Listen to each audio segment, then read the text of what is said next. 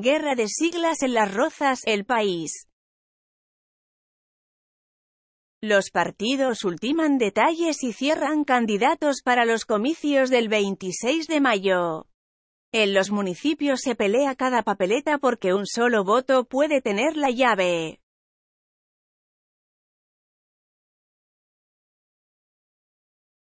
Contigo por las Rozas, la coalición que en 2015 constituyeron IUNG, Los Verdes y ECO, denuncia que personas ajenas a la organización han usurpado su marca.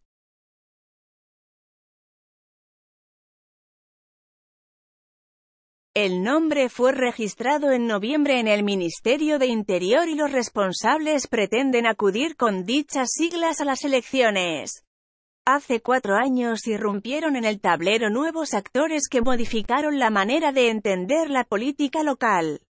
En Las Rozas, como en otras poblaciones de España, los partidos progresistas barajaron la posibilidad de presentarse unidos a las elecciones.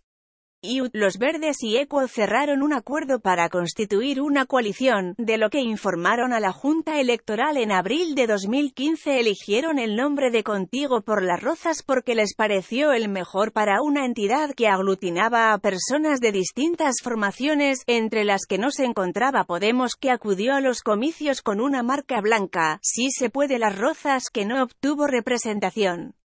Contigo por las Rozas consiguió 5.286 votos y tres concejales, lo que convirtió a esta fuerza en la tercera más votada de la localidad por detrás de PP, que gobierna en minoría, y Ciudadanos pero ligeramente por encima del PSOE. El edil reconoce que han estado lentos y que debieron ser ellos quienes registraran las siglas previamente.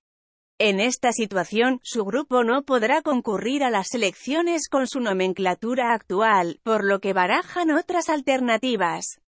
Fuentes de esa formación sostienen que ninguna de las personas que registraron el nuevo partido tiene vinculación con ellos y que su decisión es estrictamente personal.